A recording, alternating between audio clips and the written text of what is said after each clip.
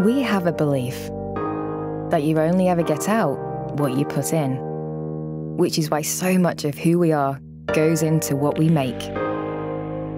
Made by Camira isn't just about making beautiful fabrics from the finest materials, it's about having a belief in everything we do, from the way we do business to the way we treat our customers and our people, to knowing that what we do affects the planet. We believe in making fabrics that last. It shows that we care about what we do and the resources we use. Our fabrics have a purpose to inspire, to challenge, to become loved. Our fabrics don't just look good, they stand up to the most demanding of environments.